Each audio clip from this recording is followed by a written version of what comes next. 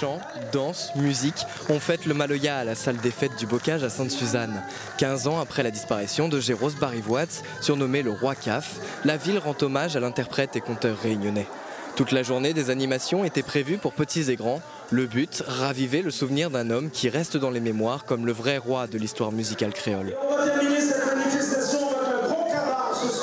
Johan Mounien est le directeur de la vie culturelle associative de Sainte-Suzanne. Il connaît bien le parcours de l'icône du Maloya. On l'appelait le roi CAF parce que au niveau de sa famille, c'était le seul garçon.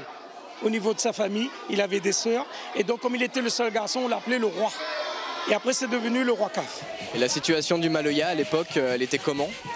Difficile, c'était interdit, mais lui, il avait ce courage, cette force de, lutter pour la liberté du Maloya et mettre ce Maloya en avant. Interprète des albums Somin Galisé et Tradition Maloya, le roi Caf demeure une figure de la musique réunionnaise à une époque où il n'était pas question d'enregistrement ou de tournée, mais plutôt de répression. 15 ans après sa mort, les enfants se souviennent encore des paroles qui l'ont rendu célèbre.